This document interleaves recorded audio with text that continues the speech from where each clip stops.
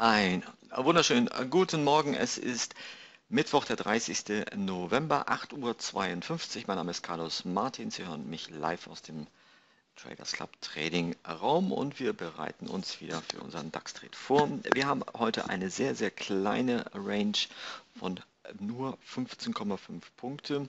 Wir haben für uns so festgelegt, dass eine Minimum Range von 15 Punkte es mindestens sein muss. Würde sie kleiner sein, würden wir Eintreten nicht machen. Die Aufschaukelungsgefahr wäre dann hier zu groß.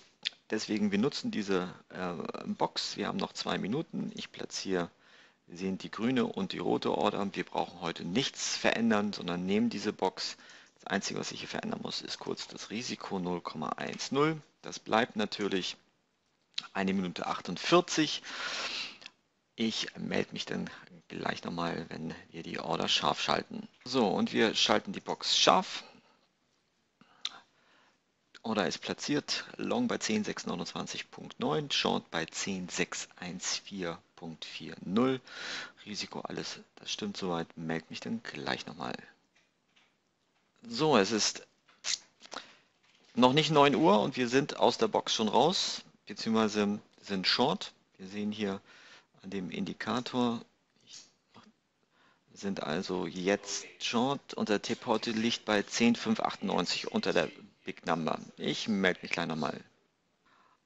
Okay, es ist 9.04 Uhr, wir sind in Trade Nummer 2 und gehen hier auch wahrscheinlich gleich raus mit dem Trade Nummer 2. Wir sehen hier, Tech Profit liegt bei 10,646. Schauen wir mal. So, wir sind jetzt raus. Ich zeichne kurz den Trade aus. Es ist 9.06 Uhr, der Klassiker.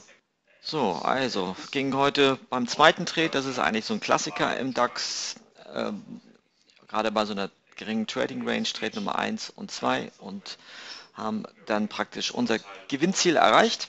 Und ja, dann wünsche ich euch allen noch einen erfolgreichen Handelstag. Heute ging es relativ zügig und wenn ihr Lust habt, könnt ihr morgen dann wieder einschalten. Wünsche, wie gesagt, euch gute Trades noch.